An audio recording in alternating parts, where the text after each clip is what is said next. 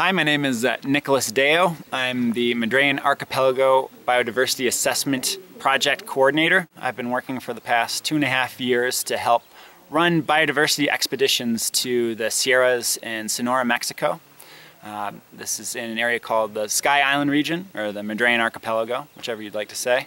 Uh, it's an area of incredible biodiversity where uh, you get species coming down from the Rocky Mountains and up from tropical habitats to the south, uh, species from the Sierra Madre, from the Sonoran Desert, the Chihuahuan Desert, so it's this huge melting pot of species that you don't find anywhere else in the world.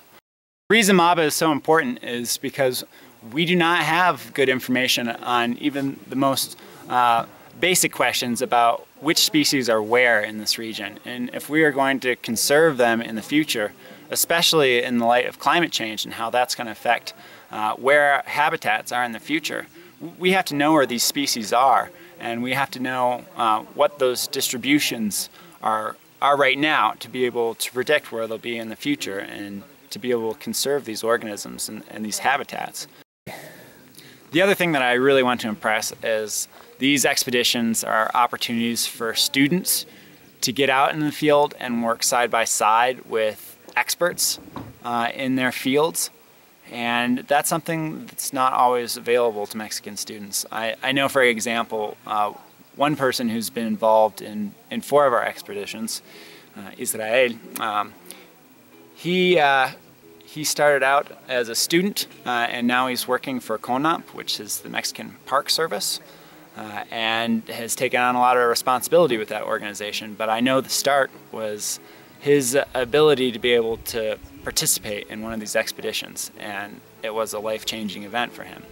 Uh, he recently told me that uh, he was offered a job uh, through one of the mining corporations here in northern Mexico uh, but he turned it down because his top priority after coming along these expeditions uh, was protecting the environment and you know turning down a lot of money in, in, a part of the world where you don't make that much money uh, that says a lot to me about what this project has done to both uh, protect the environment here and, and change people's worldviews about what is important.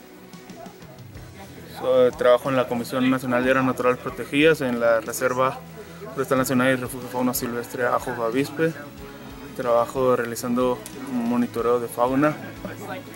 Lo que hacemos es poner trampas cámara en las sierras para monitoreo de, especies prioritarias, el jaguar, el ocelote, el, oso y también nos llevamos entre ellos al, puma, venados, ocelotes, Gato Montés, eh, que es una región prioritaria para la conservación que pertenece a la Reserva Joavis.